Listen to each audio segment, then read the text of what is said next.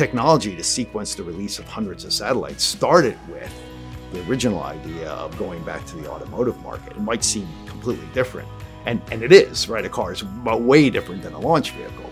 But the idea of bringing up multiple airbags in response to a crash, the automotive industry started with frontal impact airbags.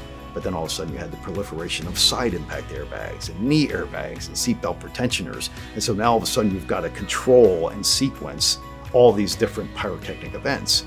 Well, that's really no different than releasing a bunch of satellites. And so the fact that PacSci EMC had some proprietary technology around doing that and then applying it to a different customer's need, that's, that's the real secret sauce of what we do.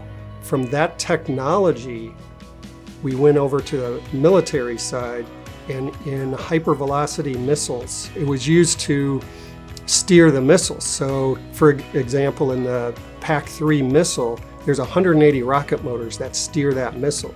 So you have to sequence 180 different events. We've taken and grown that technology now to launch vehicles and payload release.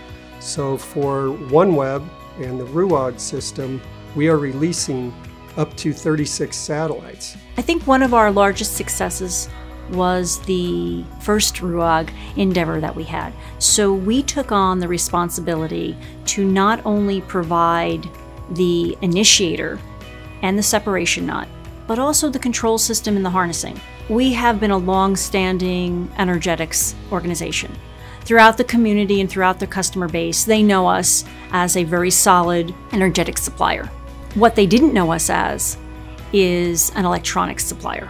One of our growth initiatives is developing products that integrate electronics and the pyrotechnics together. For the Smart Initiator, there's two integral parts. Uh, we have a controller and we have the Smart Initiator. The Smart Initiator is the pyro actuating initiator, and behind it we have the brains of the operation. The Smart Controller can control up to 32 different configurations. A couple initiators can be placed in one configuration, so you can have multiple detonations with one control.